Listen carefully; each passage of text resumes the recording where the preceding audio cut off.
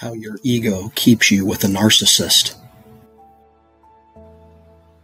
Hey guys, have you noticed that since the beginning of your relationship with the narcissist, you find yourself focusing more on the fantasy they created and less on how they treat you now? It's like you ignore all the abuse they're putting you through, and all you think about is that fantasy you lived in for what was probably just a pretty short time. Well, don't beat yourself up over it. It's a common thing that we all do. So in this video, I'm going to explain why this happens and what you can do to help improve your life and get back on a positive path. So stick around for the next few minutes and let's break this down together. So in every narcissistic relationship, a stage has to be set. There has to be something about this person that draws you in and makes you feel like you've never felt before. And if you take a minute and look back to the beginning of your relationship, I'm sure you'll agree you felt like you were living in a fantasy and you loved every minute of it. You loved it so much that you're willing to put up with all the abuse they put you through just to get another taste of how things were back in the beginning. Well, guys, that's exactly what the narcissist intended. They created a fantasy life that you would believe, embrace, and focus on. They created something they hoped you would chase after forever. Because without that fantasy life, they knew they'd never have a chance to be with you and get the chance to abuse you. Why do we do that? Why do we ignore all the abuse they put us through and spend all our time focusing on that fantasy? The answer is hard to accept, but it's the truth. And the truth is, our ego is why we do it. Our ego takes over, and we refuse to accept the truth that the fantasy is just that. It's a fantasy. It's all been fake since the start. When you let your ego get out of hand, it clouds your mind. It corrupts your judgment.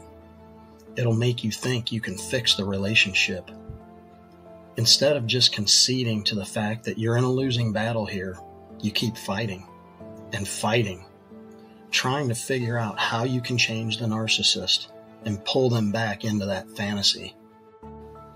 Well, guess what, guys?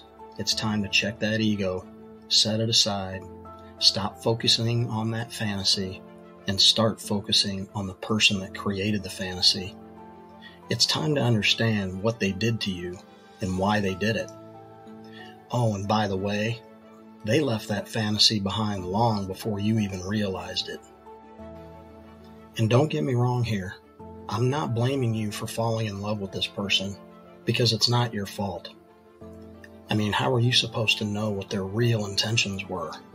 You had no way of knowing what they were capable of until it was too late. So here you are now.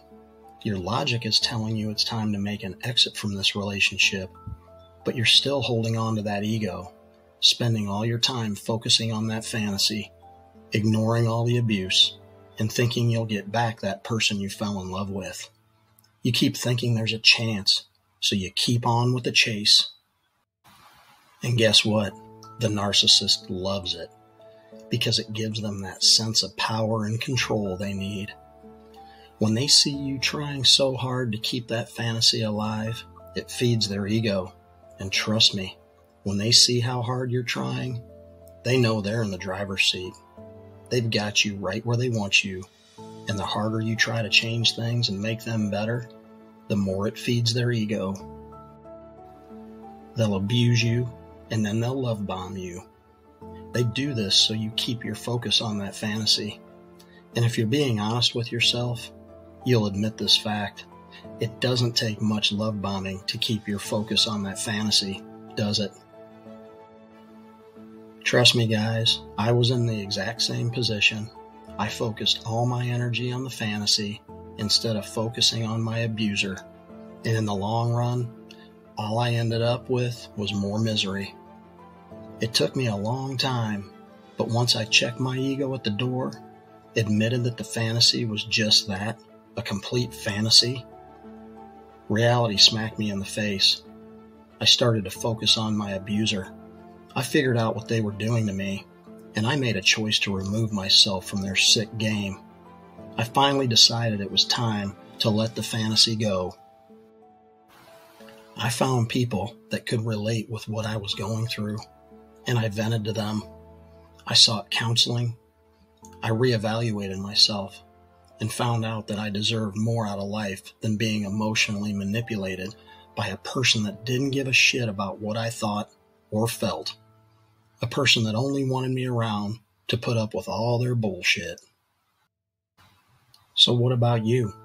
Are you living through the same scenario right now?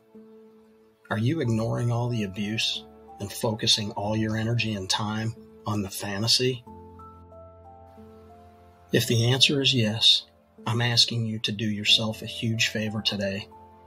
Put your ego to the side and chalk up this relationship as a loss because chasing the fantasy is only going to keep you stuck in a never ending, no win situation. Reverse the situation for yourself. Instead of your next relationship starting out as a fantasy that turns into a horrific reality, take things slow Take some time and really get to know the new person you meet. Find someone who's genuine, someone that accepts you for who you are, someone who will love you unconditionally. Remember that old story about the tortoise and the hare? Who won that race? The one that took things slow and steady. Long lasting, healthy relationships take time to develop there's no need to get into a big rush with things, guys. Just take your time. Trust me, that person is out there. And when you find them, your fantasy will finally come true. Thanks so much for watching. And until next time, keep looking out for those signs. Stay alert. Be vigilant. Be strong. Be brave. And go live your best life today.